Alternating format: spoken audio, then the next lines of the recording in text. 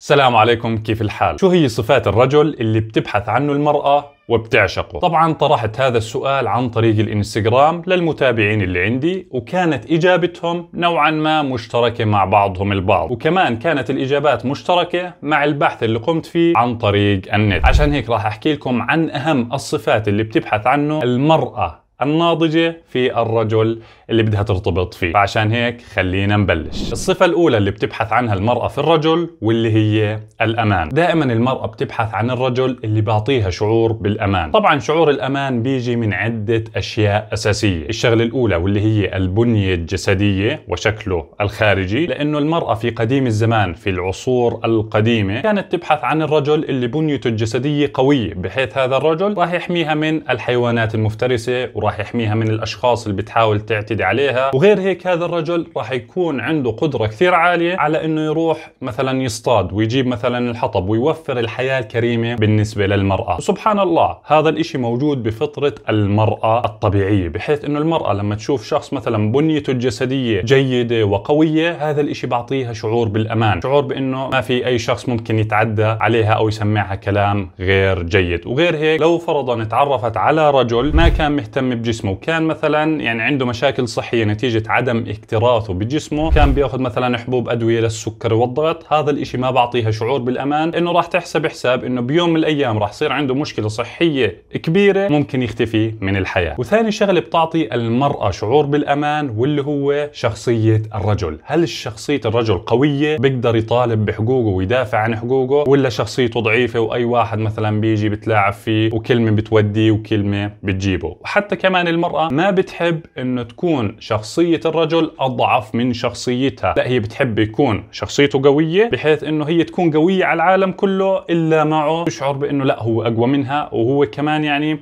بحميها. شخصية الرجل لما تكون قوية مش إنه والله يصرخ عليها ويأذيها لا هذا الإشي بيجي من شعور داخلي عند المرأة. ممكن بيوم من الأيام تيجي المرأة بتحكي لك إنه والله أنا بشعر بالرهبة منك أو بالهيبة منك لكن أنت بتكون معها حنون. لكن هذا شعور داخلي هي بتشعر فيه وهذا الشعور طبعا بعطيها الأمان. وثالث شغلة بيعطي المرأة الأمان واللي هو إمكانية الرجل على حصوله على المال. أنا ما حكيت المال بالتحديد هو مصدر الأمان مع إنه هو مصدر أمان كثير كبير للرجل وللمرأة لكن ممكن أنت بيوم من الأيام ما تكون جاهز ماليا لكن عندك القدرة العالية على إنك تتطور وتجيب الفلوس بحيث ممكن أنت تكون بالجامعة لكن المرأة تعجب فيك وتوافق على إنها ترتبط فيك في فترة الجامعة على الرغم من إنه أنت مش حاصل على وظيفة لكن هي مآمنة وبتعرف إنه أنت شغال على حالك وبيوم من الأيام راح توصل للهدف تبعك وراح توفر لقمة العيش الكريمة بالنسبة لها بالنسبة للمرأة الناضجة هي بتبحث عن الرجل اللي بيقدر يوفر المال عشان يعيشوا حياة كريمة مش المال عشان تركب مثلا لامبرجيني أو يعني إشي فاخر. طبعا هذا الإشي كويس لكن إحنا بنحكي يعني بشكل عام هي بتدور على حياة كريمة وإنه ما يجي يوم من الأيام إنه تكون محتاجة لشخص آخر أو مثلا ما في أكل في البيت أو ابنها مرض وجوزها مش قادر يعالج.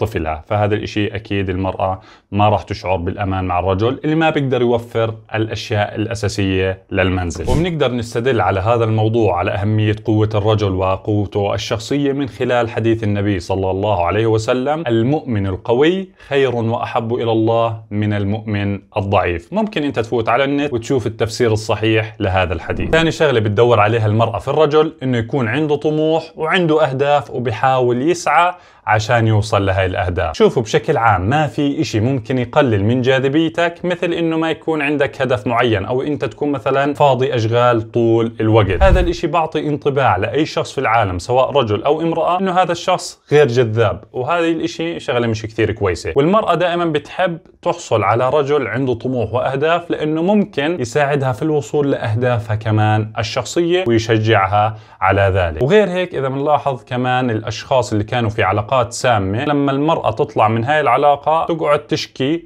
إنه والله الرجل اللي كنت مرتبط فيه كان فاضي أشغال أو كان قاعد أغلب وقته في البيت وما بيشتغل وأنا كنت أشتغل. فهاي صفة يعني جدا منفرة بالنسبة للرجل. وغير هيك أنا من خلال بحثي لقيت إنه من صفات الرجل في الإسلام اللي هي السعي. السعي عشان يحقق أهدافه عشان يحصل الأشياء المهمة للحياة. والآية اللي بتدل على هذا الكلام واللي هي وجاء من أقصى المدينة رجل يسعى. وكان شرح هاي الآية إنه الرجل كان يسعى مش يتمشى. يتمشى. إذا إحنا بنيجي مثلا نفسر كلمة يتمشى إنه والله واحد كان بيتمشى معناته كان يبزر كان يشرب شغلة كان يمشي مع أصحابه ويضيع وقت على الفاضي. بينما رجل كان يسعى فكان هو يصحى من الصبح كان يلبس ملابس عشان يدور على شغل على شغلة معينة. وهذا الإشي يعتبر جدا جذاب وبتقدري أنت كمان تعتمدي على هذا الرجل في أمور حياتك. ثالث شغلة بتدور عليها المرأة في الرجل واللي هي الاهتمام. بشكل عام طبيعة المرأة مختلفة عن طبيعة الرجل. فهي بحاجة للاهتمام.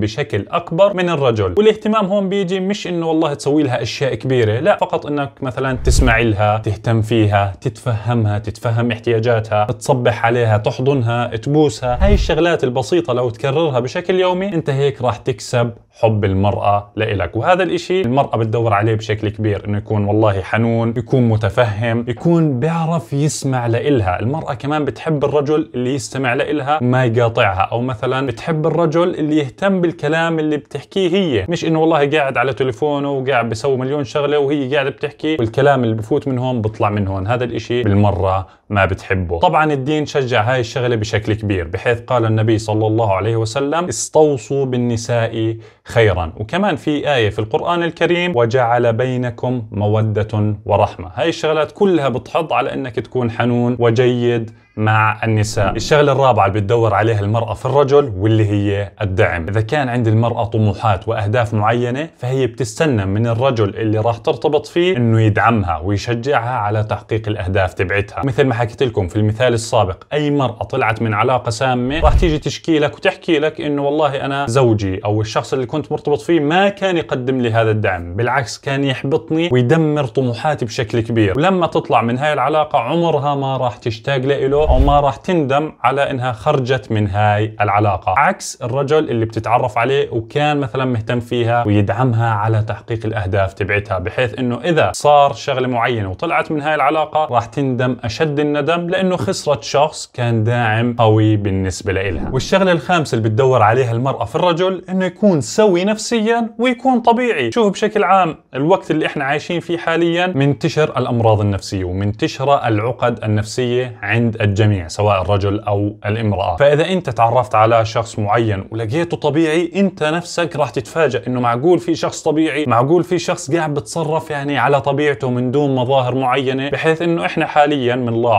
إنه في بعض أو كثير من الأشخاص بتكون ماشية بالسوق أو في مكان معين وبتشعر إنه في كاميرات مسلطة عليها فبتلاقيها إنه هي بتتصرف مش على طبيعتها. حتى الكلام اللي بتحكيه بتكون بتفكر فيه بحيث إنه والله الكلام لازم يكون كذا ومثل ما حكى الشخص الفلاني على اليوتيوب لازم أنا أحكي هاي الكلمة قبل هاي الكلمة ولازم أسوي هاي الشغلة بالعلاقة. فهاي الشغلات كلها منفرة. فأنت لما تيجي تتعرفي على رجل وتلاقيه طبيعي فهذا الإشي يعتبر في الوقت الحالي إشي كثير بجنن. وفي النهاية إذا أنت رجل وقاعد بتتابع هذا الفيديو ما عليك غير إنك تكون طبيعي تكون رجل حنون كريم جيد تحترم المرأة وبنفس الوقت تدور على مرأة تقدر هذا الشيء. لأنه مثل ما حكيت أنه هذا الفيديو مخصص للمرأة الناضجة. هاي الصفات اللي ذكرتها اللي بتبحث عنها المرأة الناضجة. فإذا أنت تعاملت مع المرأة بهذا الأسلوب اللي هو الشيء الطبيعي وتعاملت بأصلك معها وهي ما قدرت هذا الإشي وراحت دورت على شخص ثاني فاعرف أنه المشكلة مش فيك أنت المشكلة فيها هي وهي شخص يعني مش مزبوط وغير ناضج ويمكن عنده الكثير من العقد النفسية. بتدور على شخصية مثل الموجودات على النت اللي يتحكم فيها ويسيطر عليها وما إلى آخره. فإذا عجبكم الفيديو يا ريت تكتبوا لي تحت في التعليقات واحكوا لي رأيكم في هاي الصفات. وإذا في صفات معينة أنا ما ذكرتها كمان يا ريت تكتبوا لي إياها تحت في التعليقات. في شاشة النهاية رح أحط لكم فيديو علامات حب المرأة للرجل. بنشوفكم بفيديو جديد. والسلام